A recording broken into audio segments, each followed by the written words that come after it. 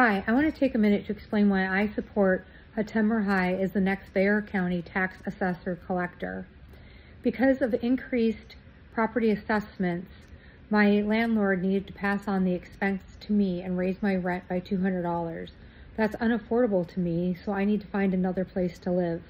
I believe that Mr. Merhi will create a system to lower property assessments that will make property affordable to all.